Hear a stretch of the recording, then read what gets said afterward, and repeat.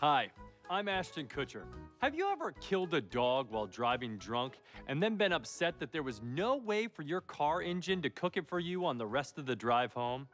Well, those days are over. Thanks to Dr. Lee's Pet Engine Cooking Bag.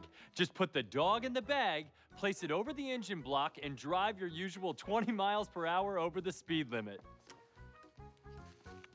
Mmm, bow wow. I'm Ashton Kutcher, and remember, Dr. Lee's Pet Engine Cooking Bags are not meant for babies, but they can be used for babies.